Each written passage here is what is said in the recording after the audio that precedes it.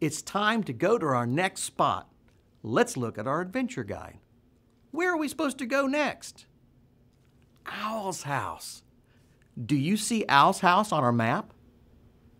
There it is! Let's flap our wings to get there. We made it! It sounds like some of our Sprouts Force friends made it here before we did. They must have had the same idea to go see Mr. Owl. Let's knock on his door. One, two, three. Come in, come in.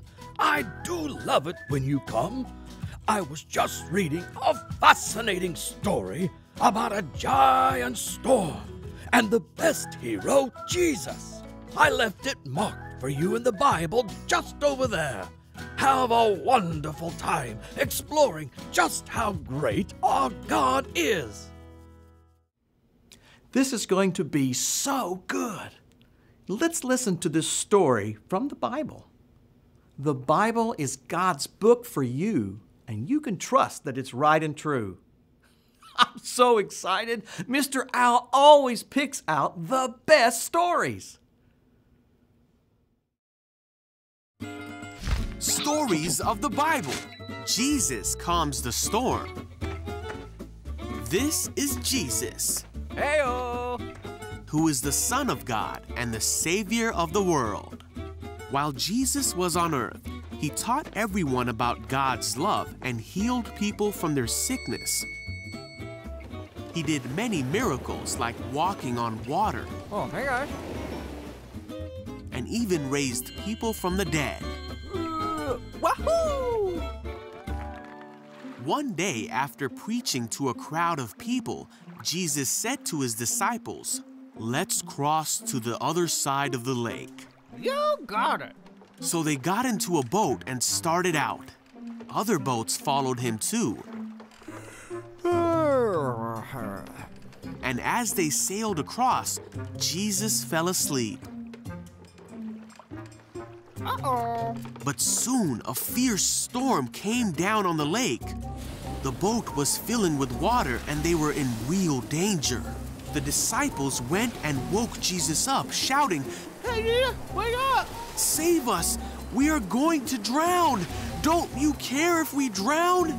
Jesus responded, Why are you afraid? You have so little faith. Then he got up and rebuked the wind and waves, saying. Silence, be still. Suddenly the wind stopped and there was a great calm. Then he asked them, Where is your faith? The disciples were terrified and amazed. Who is this man? They asked each other. When he gives a command, even the wind and waves obey him.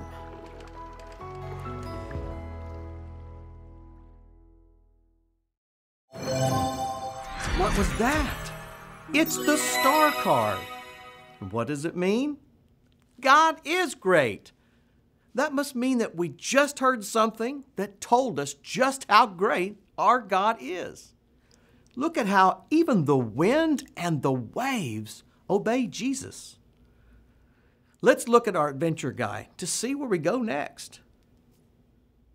Oh, good. We get to go to Sprouts Lake. Do you see Sprouts Lake on our map? Let's water ski to get there.